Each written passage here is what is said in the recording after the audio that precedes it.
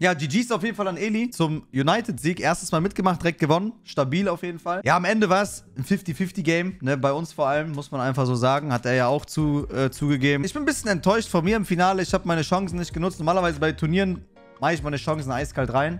Aber beim Finale, Digga, da war man auch noch mal ein bisschen nervös gewesen. An guten Tagen gehen so Dinger rein in der 90. Klar, hat er auch am Ende stark den Keeper bewegt, ne? Muss man sagen. Aber ja, letzten Endes sei ihm das gegönnt. Erstes Mal mitgemacht. Und wir können auch zufrieden sein, Leute. Vor allem, wir waren letztes Jahr im Finale, haben letztes Jahr gewonnen. Dieses Mal sind wir auch ins Finale gekommen, also Back-to-Back. -back. Und deshalb können wir stolz auf diese Leistung sein. Und ihr seht ja auch sonst, wenn ich bei Illegella Cups mitmache oder so, ich habe da viermal mitgemacht, dreimal gefühlt gewonnen. Und ich bin sehr zufrieden mit meiner Leistung, Leute. Auch wenn ich nicht in der Weekend League jedes Wochenende da sitze und 27, 28 Siege hole. Wofür denn? Wofür? Um, um, es mir selbst zu beweisen, um den Leuten da draußen zu zeigen, ah, ich kann 27 Siege holen, wofür denn? Vielleicht beim Tots wieder, weil da mehr Motivation ist, weil man da vielleicht auch bessere Rewards zieht. Aber ihr seht, es kommt nicht an, wie gut jemand ist an der Weekend League, Digga. Ich habe auch gegen Gamer Brother nur ein 3-3 geholt. Was heißt nur? Ähm, er holt ja auch zurzeit Gold 1 oder Elite 3 oder was weiß ich was. Und er hat auch super gegen mich gespielt. Ne? Hätte es sogar vielleicht verdient gehabt, gegen mich zu gewinnen, das Hinspiel. So, und deshalb finde ich, kann man da jetzt nicht groß sagen, ähm, dass Weekend League äh, sagt, wer besser ist. Vielleicht bei Leuten, die jede Woche in Top 100 kommen. Okay, das ist dann nochmal was anderes, ne? Ähm, oder die auch voll hart an die Sache rangehen. Vor allem bei Stefan merkt man ja auch, dass er, äh, glaube ich, besser spielen kann, wenn die Kamera nicht an ist oder vielleicht konzentrierter spielt, weil er sich dann nur aufs Game fokussiert, ist dann nochmal was anderes. Es war halt alles jetzt nur so mega, mega stressig gewesen am Ende, ne? Ähm, ich habe ja Freitag äh, das Spiel gegen Pain hochgeladen und dann direkt Sonntag Finale. Ähm, ja, also was mein Vorschlag wäre, beim nächsten Mal vielleicht alles bisschen, wie soll ich sagen, knapper zu halten, weil diese Teambauphase, die ging ja schon sehr lange und ich glaube, jeder, der bei United mitgemacht hat, hat am Ende irgendwie gefühlt, was weiß ich, 2, 3 Millionen Coins Verlust gemacht. Die Spieler sind ja unnormal gesunken. Vor allem so ein Ronaldo, ich weiß noch, am Anfang war der 1,3 Millionen, jetzt kostet er 300k, ne? Oder was würdet ihr sagen? Was kann man da noch verbessern? Sonst lief eigentlich alles super. Auch diese neue Regel, dass man die Auswechselspieler noch erspielen konnte in der sechsten Folge. War nice. Die Teambuilding-Folgen, die waren halt schon in gewissen Punkten halt, wie soll ich sagen, ein bisschen nervig, weil man immer, immer hoffen musste, dass der Gegner nicht rausgeht. Stell mal vor, guck mal, wir oder jeder andere hätte, das kann ich jetzt für alle sagen, jeder andere hätte am Ende noch ein besseres Team oder schlechteres Team haben können, weil, stell mal vor, ich spiele jetzt gegen einen, mache in der ersten Minute ein 1-0 krieg meine 50.000 Coins mit Kammerwinger und dann geht der Gegner raus. Dann habe ich 250.000 für das Spiel bekommen. So. Aber was wäre denn, wenn ich in diesem Spiel weiter drin gewesen wäre und den Gegner 8-0 weggeklatscht hätte? Wisst ihr? Und deshalb finde ich, sollte man vielleicht das Regelwerk in dem Sinne nochmal ein bisschen überarbeiten, dass zum Beispiel, wenn der Gegner direkt in den ersten 10 Minuten rausgeht, dass man da irgendwie, keine Ahnung, 400.000 extra bekommt und von Minute 10 bis 20 kriegt man 300.000 für den Rage Quit. Von Minute 20 bis 30 so und so viele Punkte. Dass es auch nochmal so ein bisschen in Kategorien eingestuft ist, weil es macht schon einen großen Unterschied, ob der Gegner ähm, in der dritten Minute rausgeht oder in der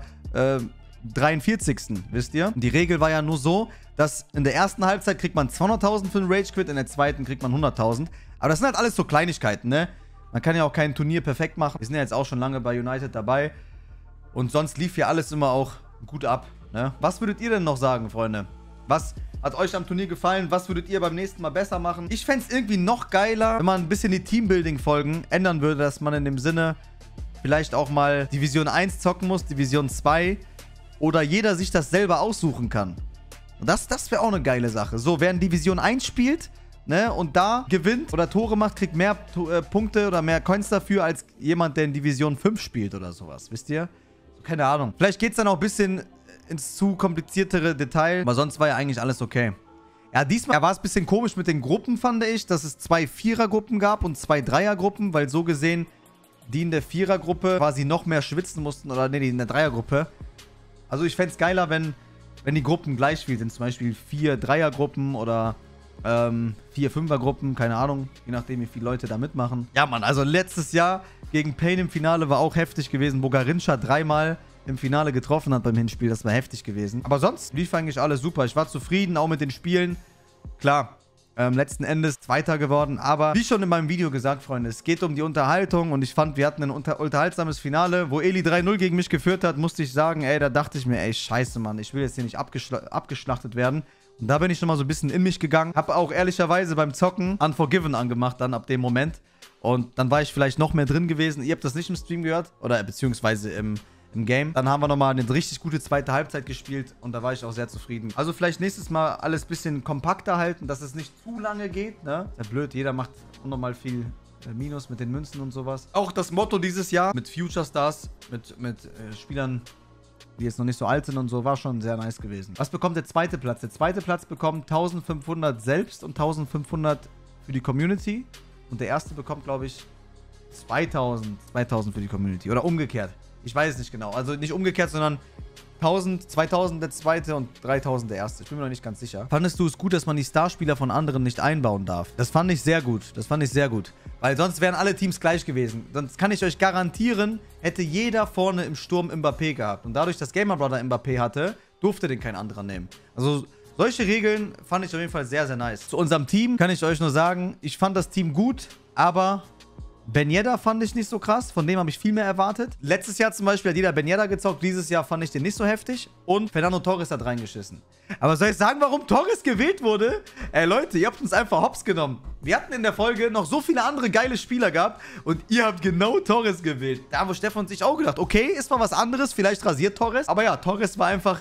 Katastrophe, ehrlich, Katastrophe. Ich war froh, wenn die 45. Minute war, damit man den auswechseln konnte. Aber sonst war alles top gewesen. Sonst war alles top gewesen. United Teambewertung. Boah, ich glaube, Stefan hat das Team schon verkauft. Da kann ich jetzt auch nicht so viel zu sagen. Ich kann aber nochmal kurz so, weil ich weiß ja das Team auswendig. Also Donnarumma war super. Vor allem gegen Payne hat er sich unsterblich gemacht. Diese eine Parade. Krank im Halbfinale. Varan Mendy sowieso.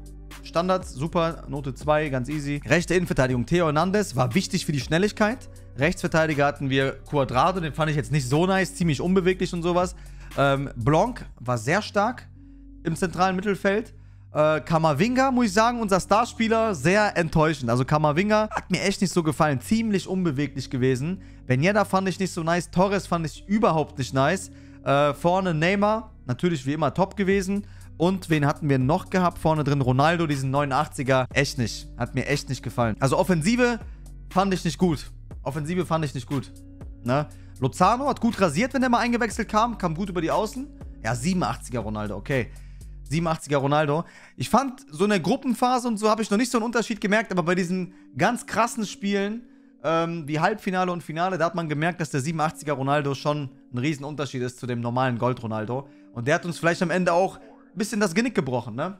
Kann man nichts sagen, aber ich will es auch gar nicht hinterher trauen oder sonst irgendwas. Es war ein geiles Finale, es war ein geiles Turnier. Ich bin zufrieden mit der Platzierung. Wir haben beide gekämpft und haben am Ende dann äh, ganz knapp hier das Finale verloren mit 3-2. Und ja, stabil. War auf jeden Fall ein geiler Support von euch. Video ist in den Trends Platz 2.